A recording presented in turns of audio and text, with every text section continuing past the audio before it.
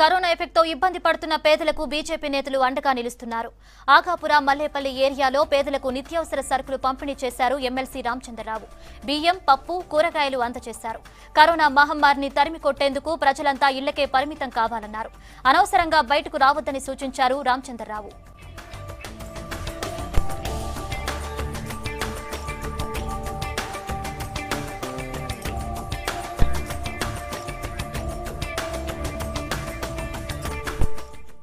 ఆకాపుర మల్లేపల్లి ఏరియాలో పేదలకు నిత్యావసర సరుకులు పంపిణీ చేశారు ఎమ్మెల్సీ రామచంద్రరావు.